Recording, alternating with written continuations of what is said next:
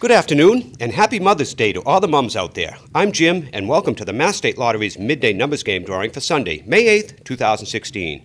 Congratulations to Anthony's Wine and Spirits in Dedham. They sold a $100,000 winning ticket in last night's Mass Cash game. And join us tonight for the evening numbers game and Mass Cash drawings. Now let's check out today's winning numbers 2714. Once again, the winning midday numbers for Sunday, May 8th, are 2714. We'll see you tonight for the evening numbers game and mass cash drawings. Good luck!